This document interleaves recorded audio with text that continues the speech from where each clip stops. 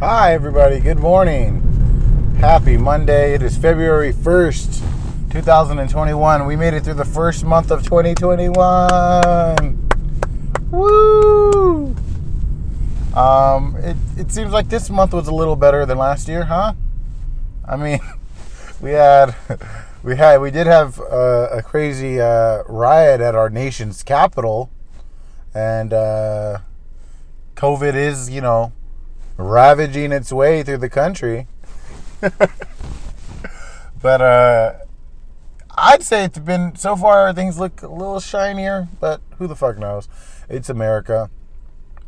Shit can be switched upside down in, in, in one instance.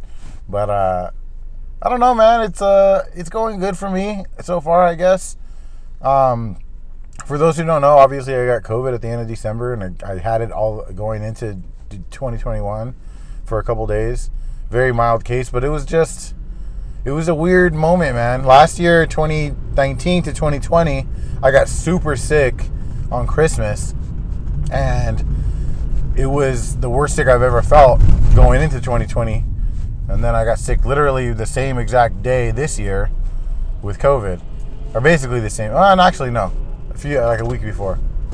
But uh, yeah, man, it's wild. It's wild to, to think and to, to to to know that you know 2020 was what it was, and we are here now, and it's just hopeful. Uh, for me, I'm trying to be positive. You know, I'm stuck in traffic right now, so uh, you know, I love it. I love being stuck in traffic. I really don't mind it. Um, anyways, I am on the way to work, and this. What do I do on these moments? These Monday morning moments. I like talking about the weekends and things I've learned. Right. Um, I learned that.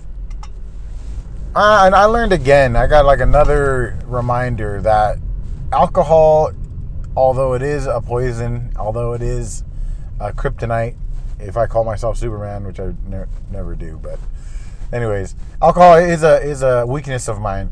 Although it is not the main cause of all my problems, and I need to quit thinking that.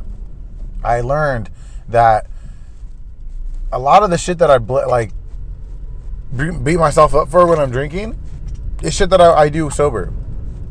Awkward things I say, overzealous conversation, rambunctious energy. That's just who the fuck I am.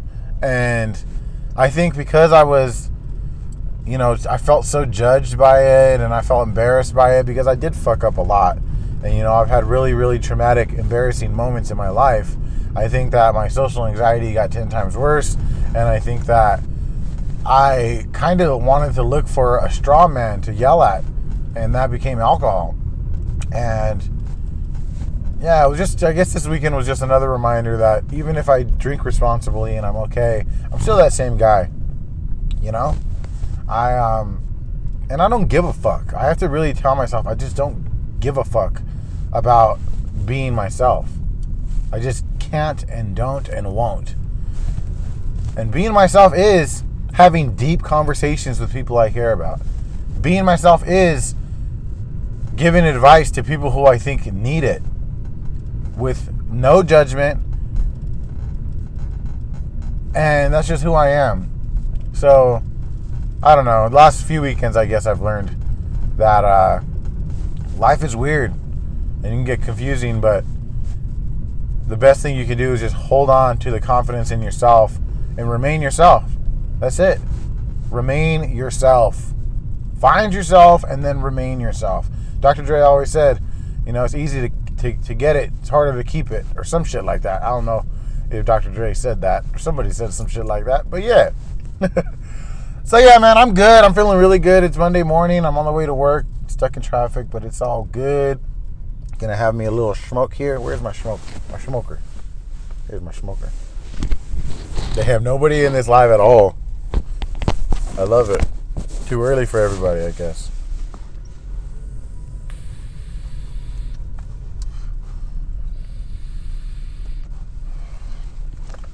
So yeah, man. Good day. Good day.